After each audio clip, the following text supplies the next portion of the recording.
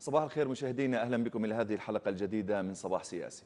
سوريا تطلب من مجلس الأمن إدانة المجزرة الدموية التي ارتكبها الطيران الفرنسي شمال مدينة منبج. فيما تستمر السياسات الغربية وفي مقدمتها الأمريكية في تجاهل الحقائق ودعم الإرهاب. ورجال الميدان يستمرون بالتصدي للإرهابيين في مختلف المحاور ويكبدونهم خسائر فادحة. وفي السياسة لافروف يبحث مع كيري خطوات تسوية الأزمة في سوريا ومكافحة الإرهاب. فهل تقتنع واشنطن بمحاربة تنظيماتها التي أوجدتها ودربتها؟ وإيران ترد على بان كيمون برفض التدخلات بمنظومتها الصاروخية الدفاعية.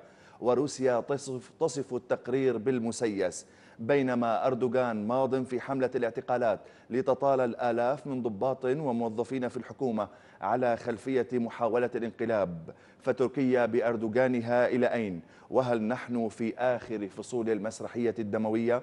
مشاهدينا الأكارم هذه المحاور أناقشها مع ضيف صباح سياسي لهذا اليوم الدكتور يوسف الأسعد نقيب أطباء دمشق أسعد الله صباحك صباح الخير أهلا وسهلا فيك أبدأ معك دكتور يوسف من المجزرة الدموية التي ارتكبها الطيران الفرنسي هذا الطيران الحاقد وهو من منظومة طيران التحالف الذي تقوده واشنطن بمجزرة حقيقية لأهالي وإبادة جماعية في شمال مدينة منبج.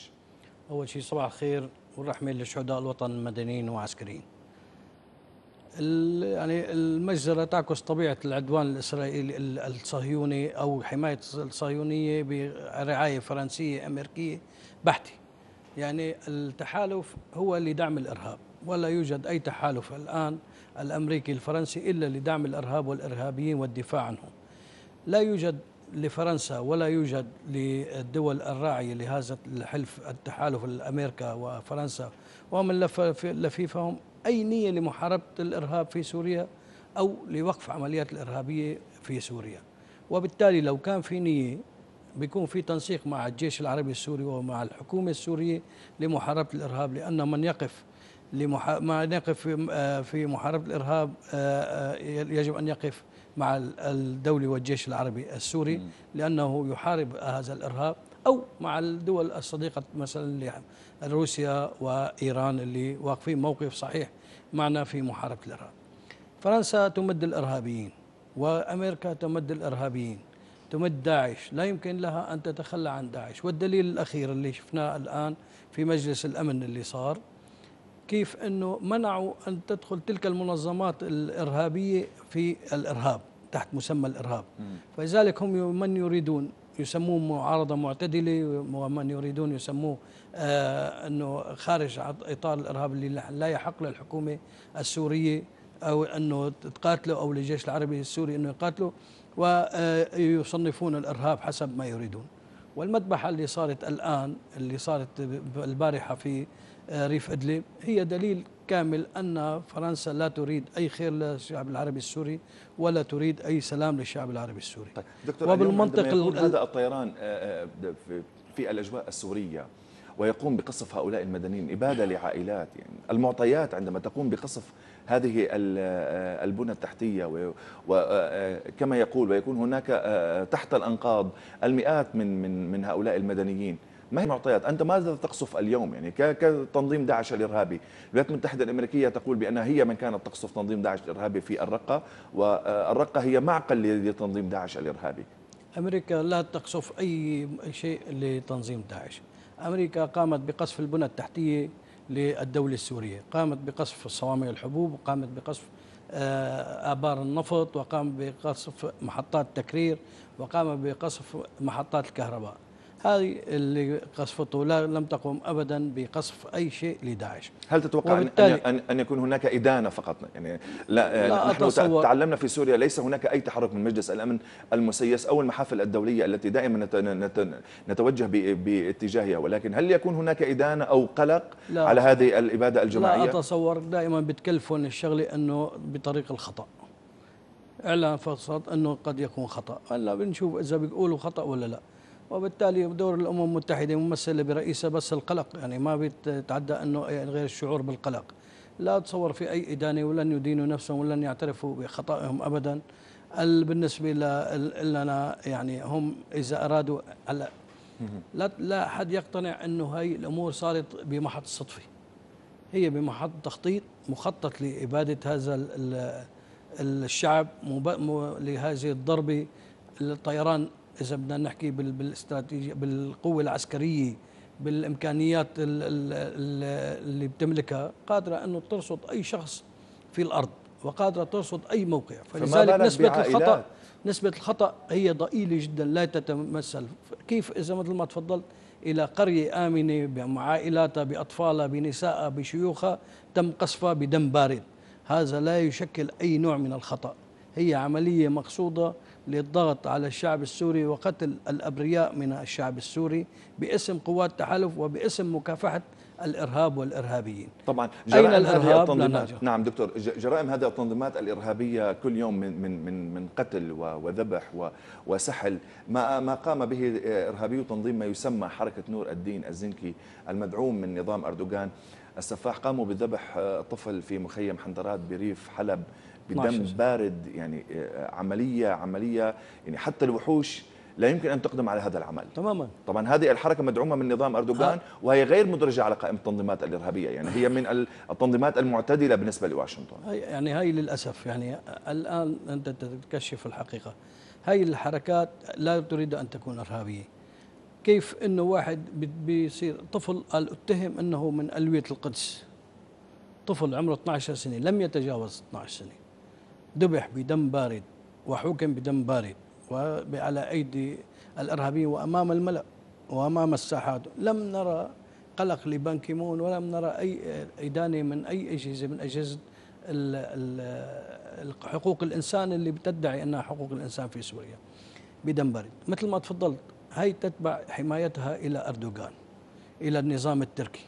وأي ألوية أخرى تنضم تحت هذا اللواء هي ألوية إرهابية. ولكن قد يكون من يذبح بالسكين يعني وعم بيسمي باسم الله الله أكبر ينادي الله اكبر الله ويقول أكبر بذبح ويسيب هذا الإسلام. هذا بيفيدهم إنه لتشويه صورة الإسلام بالنسبة لهم فهو يعتبروه معارضه معارضة سقطت هذه. العباءة اليوم يعني لا لا. يمكن ان لعاقل أن يتقبل بأن هذه التنظيمات جاءت تحت لواء الإسلام تماما، هذه يمكن. العباءة سقطت سقطت بالنسبة للشعب السوري ولكن هن بالنسبة للشعوب الأخرى يغزونها حتى يستخدموا كل مغيبين العقل للقتال في سوريا تحت هذه العباءة. وللأسف هم كسر لأنهم يمارسون الضلالة ويمارسون الفكر ال- المغيب يغيبون الفكر باسم الدين وباسم الحركات الدينية. وبالتالي للأسف في عندنا كثير من الجهال من يتبعون اسف على الكلمة من يتبعون تعاليم الشيخ شيخه بيقول لك شيخي قال كذا ولا يتبعون تعاليم القرآن وتعاليم الرسول صلى إذا الله عليه نحن وسلم. اليوم أمام فكر. نحن اليوم عندما نحارب الإرهاب نحارب الفكر ليس فقط آه، نحارب أشخاص. هذا الفكر إلى أي حد هو فكر خطير جدا. يجب أن أن يعالج ويجب أن أن توضع له آه، آه، نظريات لكي يتم استئصاله من من من. جذور ما يدعون بأنه إسلام. الإرهاب ليس فقط بالبندقية. للأسف أنا بقول أنه لم تتلطخ أيديه بالدماء أنه ما قتلوا لا. الإرهاب مثل ما تفضلت الأخطر هو الفكر والفكر التكفيري وخاصة الفكر الوهابي هذا أخطر شيء على الدول وعلى الإنسانية وعلى الإسلام. إذا لم تتوحد كافة الدول لمحاربة هذا الفكر الإرهابي التكفيري سينتشر هذا الفكر وليس له دين ولا ليس له وطن. الكل مثل ما قال السيد الرئيس هذه كرة تتدحرج ستطال الجميع. لا يمكن إلا أن محاربة هذا الفكر من الجذور. يعني عندهم حتى عم بيصير ياخذوا الاطفال. في داعش إذا شفت انت عم ياخذوا الاطفال صغار السن وعم يعلمون على سياسة القتل والذبح. على القتل والذبح هذا الطفل اللي كان عمره 10 15 سنة هلأ صار عمره 20 سنة. بعد خمس سنين كيف بده ينخرط بالمجتمع؟ هو بالنسبة له عملوا له خلينا نقول غسيل دماغ فقط جند للقتل.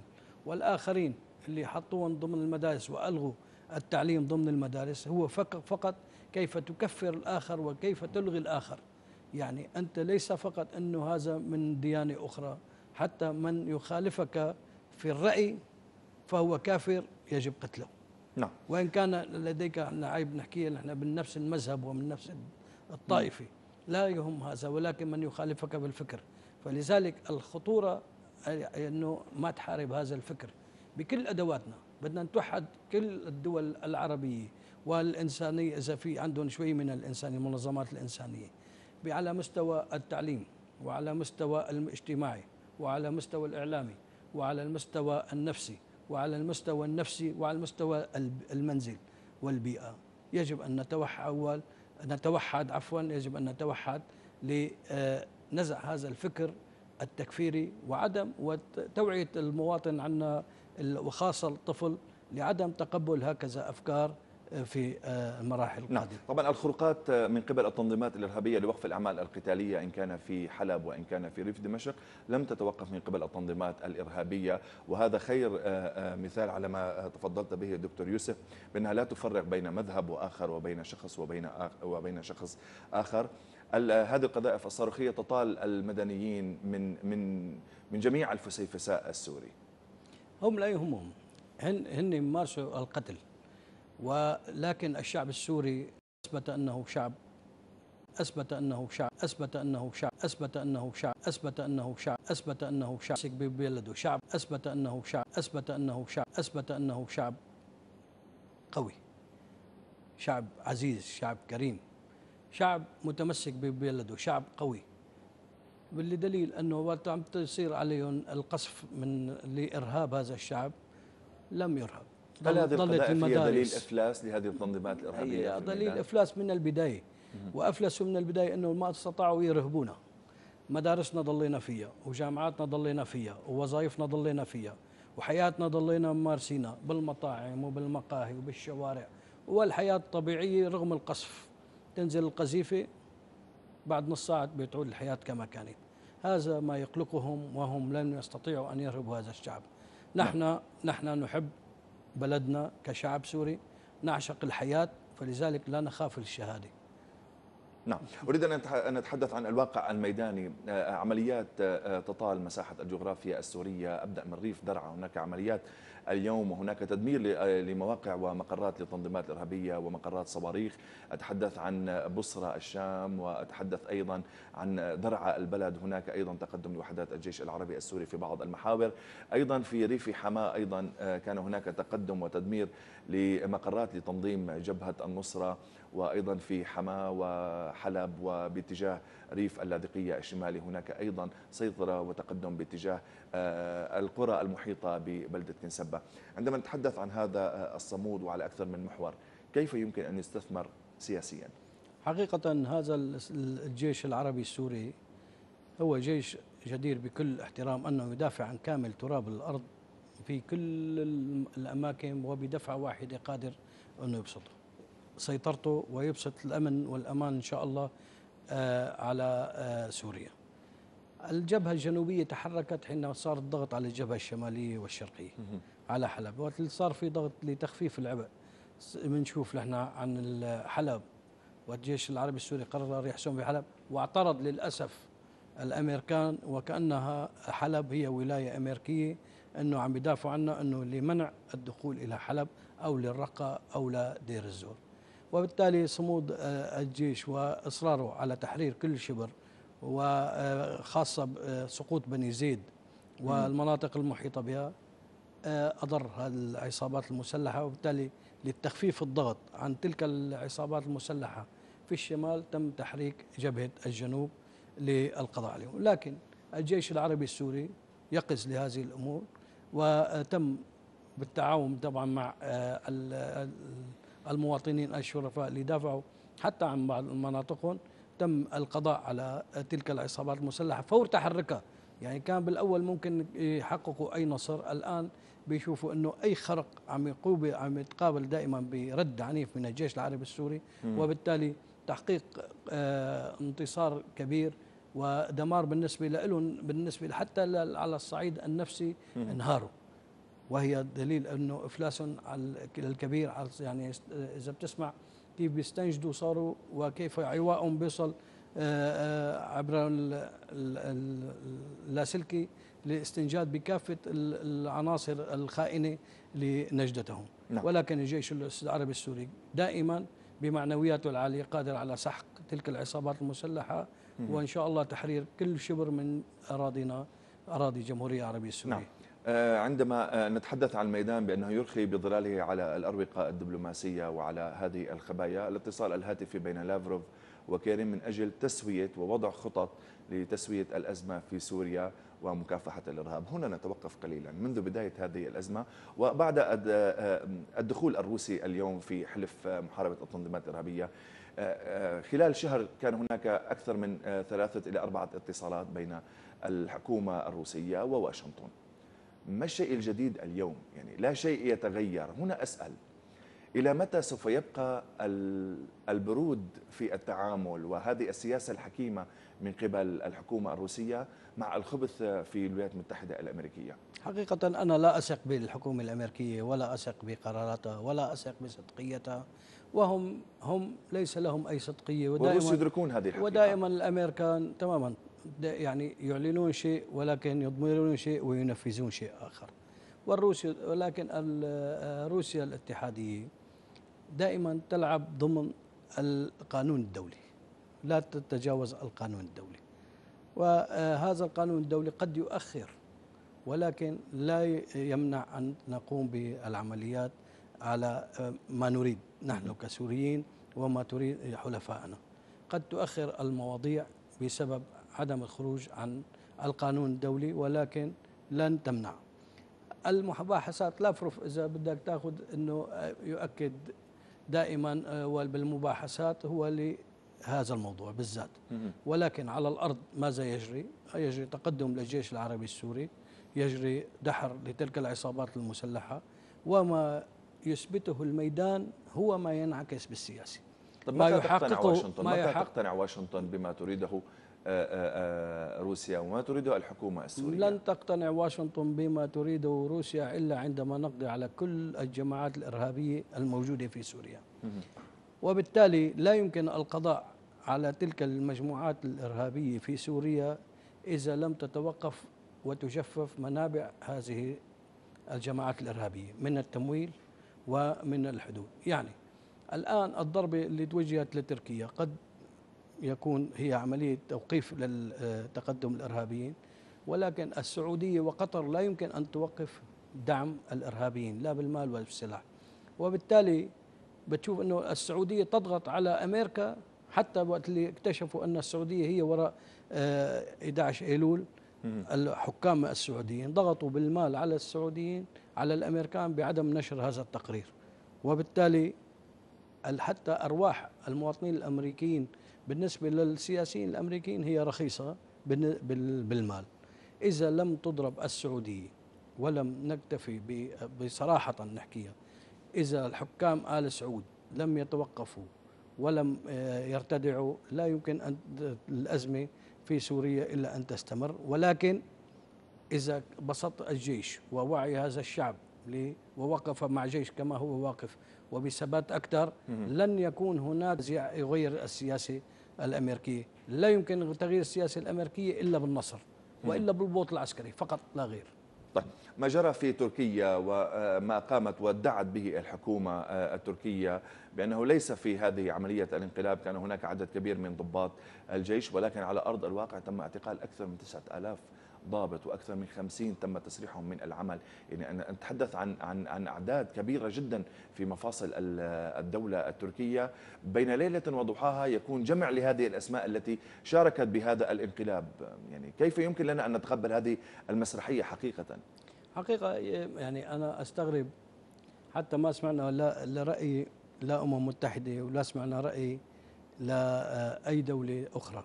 حتى من قام بالانقلاب يعني. تماما. كالعادة تسيطر على الهيئة تماما. على هيئة التلفزيون تقوم بإصدار تماما. بيان. نعرف من الذي قام بالانقلاب. مزبوط تمام. بس خلينا ناخذ الفكرة من بدايتها. فضل. خليني أربطها أنا مثلا المجتمع الدولي كيف بيفكر؟ عندما خلينا نقول انقلاب صار. خلينا نقول إنه انقلاب وليست تمثيلية. صارت إنه هذا الانقلاب هي جماعات خرجت عن القانون وإلى آخره وضد الشرعية. ولكن المجتمع الدولي في اليمن عكس ذلك. عرف كيف؟ يعني أنت مقاربه الموضوع بالنسبة انه هو بتعرف إنه هي التمثيلية مدبرة وفي وراها بعض الكومبارس عم يحيوها. العملية مثل ما تفضلت إذا كان في هناك انقلاب العسكري انقلاب العسكري بكل الانقلابات حسب ما بنقرأ أنا ماني محلل عسكري ولكن أول بتصير السيطرة على المركز الرئاسي على المقر الرئاسي الجمهورية مثلا على وسائل الإعلام على وسائل الاتصال على الإذاعات والتلفزيون وعلى المطارات. وبيطلع واحد مثلا بنسمع دائما بيان عسكري البيان الأول. لا شفنا رجل أدلى بيان أول وهو في رتبة عسكرية متقدمة ولا شفنا حدا ولا حدا تبنى هذا تبنى الانقلاب. هذا الانقلاب حتى المعارضة تنصلت من هذا الانقلاب. مم.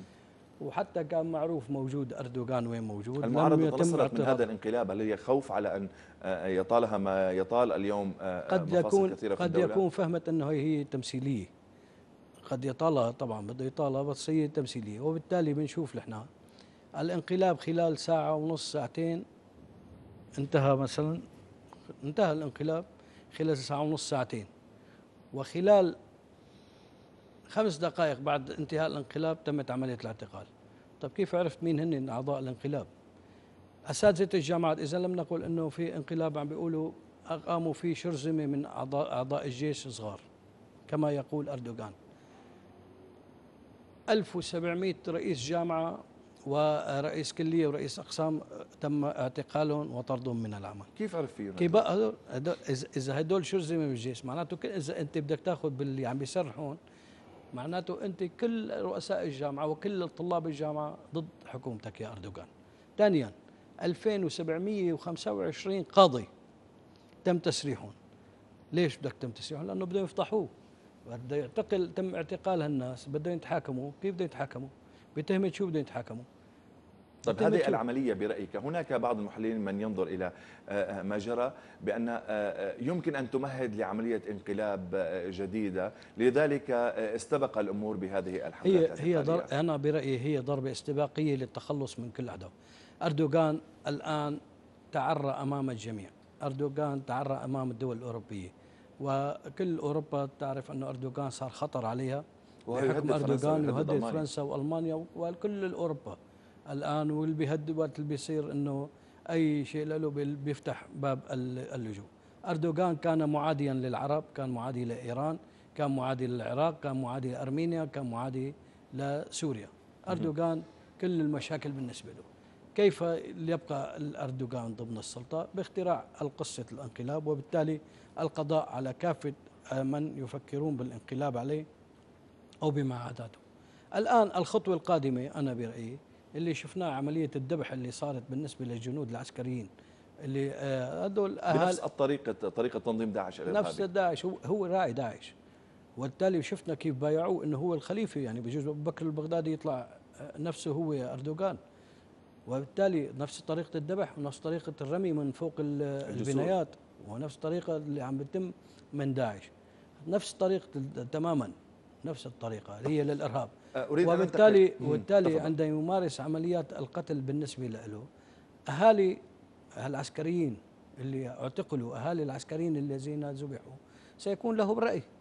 وأهالي وكذلك الطلاب الجامعات والقضاة والمفاصل الدولي ورؤساء الجامعات ورؤساء الكليات ورؤساء المعاهد والضباط اللي يسرحوا بالأعداد الكبيرة سيكون لهم رأي. وبالتالي أنا مع أنه سيكون هناك انقلاب جديد ولكن لن يكون عسكري. دكتور يوسف بأقل من دقيقة إيران متمسكة بالاتفاق النووي وهذا التقرير الذي آه، آه، أعدته الولايات المتحدة الأمريكية هو تقرير مسيس هنا أسأل ما علاقة إيران في المنطقة بهذا التقرير؟ ولماذا دائما تحاول الدول الأوروبية وعلى رأسها واشنطن بأن تظهر آه، دور إيران بأنه دور ليس دور سلمي دور شيطاني في المنطقة؟ حقيقة ترجع لرأس الأفعى هي حكام آل سعود دائما لا تريد حكام آل سعود أن يكون هناك استقرار في المنطقة وبالتالي أنه تقلب المنطقة. حكام آل سعود إذا بدك تأخذ بني سعود بالذات هم يهود. وفي كاتب ومن من أحد ال- ال- الحاخامات الكبار أكد أنه هم يهود ولكن آه، اصطبغوا بصبغة دينية للقضاء على الإسلام وتشويه صورة الإسلام آه، من خلالها. وبالتالي بنشوف الآن التقارب بين اسرائيل والبني صهيون والحكام السعود صارت علنا. كانت عبارة عن ممكن كان في خجل من تحت الطاولة يتلاقوا.